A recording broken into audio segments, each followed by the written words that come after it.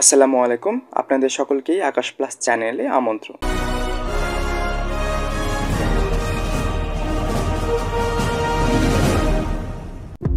মহাশূন্য অথবা মহাকাশ বলতে সাধারণভাবে মাথার উপরে অনন্ত আকাশকে বোঝানো হয়। তবে পৃথিবীর প্রেক্ষাপটে মহাকাশ হল পৃথিবীর বায়ুমণ্ডলের বাইরের অনন্ত স্থান।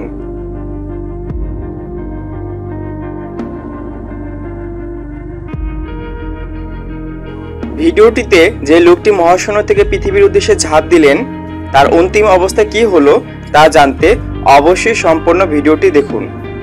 বিভিন্ন তথ্যবহুল ভিডিও পেতে আমার চ্যানেলকে সাবস্ক্রাইব করুন এবং বেল আইকনে প্রেস করুন। পৃথিবীর নিজস্ব বায়ুমণ্ডল বিদ্যমান। এই বায়ুমণ্ডলের কতগুলো স্তর আছে? স্তরগুলো হলো যথাক্রমে ট্রপোমণ্ডল, স্ট্রাটোমণ্ডল, মেসোমণ্ডল, তাপমণ্ডল এবং এক্সোমণ্ডল।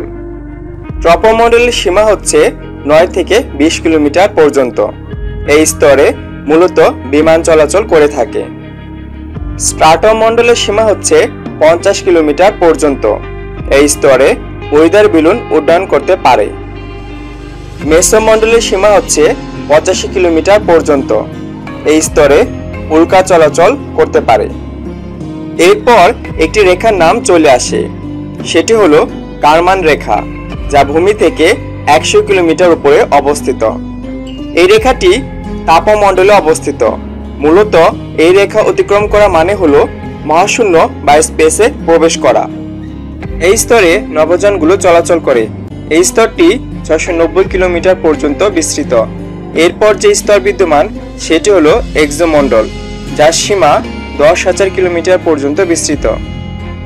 আমরা যাকে মহাশূন্য বলি, সেটি পুরোপুরি ফাঁকা নয়। প্রধানত অতি অল্প পরিমাণ হাইড্রোজেন প্লাজমা তড়িৎচুম্বকীয় বিকিরণ, চুম্বক ক্ষেত্র এবং নিউট্রনও এই মহাশূন্যে অবস্থান করে। বিজ্ঞানীরা ধারণা করেন যে মহাশূন্যে ব্ল্যাক হোল বা কৃষ্ণ গহ্বর বিদ্যমান, যা প্রচণ্ড ক্ষমতা সম্পন্ন।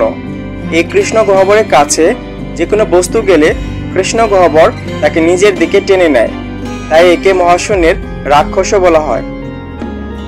এখন তাহলে চলুন স্পেস থেকে যে লোকটি ঝাঁপ দিয়েছিল, তার কি হলো জানা যাক। দুই হাজার বারো সালে রেড বল স্ট্রাটোস একটি প্রজেক্ট হাতে নেয়, যার উদ্দেশ্য ছিল স্পেস থেকে ঝাঁপ দেওয়া। এক্ষেত্রে একজন স্কাই ডাইভারের দরকার ছিল।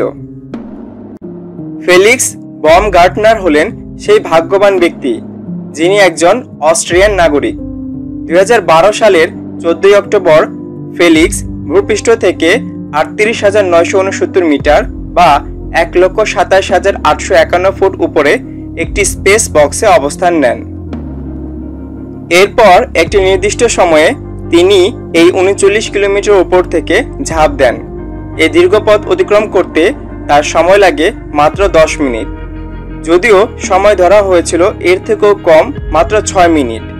এত উঁচু থেকে লাভ দেওয়ায় তিনি একটি বিশ্ব রেকর্ড করেন। আজ তাহলে এই পর্যন্তই। আবার নতুন কোনো ভিডিও নিয়ে আপনাদের সামনে হাজির হব। আল্লাহ হাফেজ। আমার ভিডিও যদি ভালো লেগে থাকে, তাহলে অবশ্যই আমার চ্যানেলকে সাবস্ক্রাইব করবেন এবং বেল আইকন প্রেস করতে ভুলবেন না।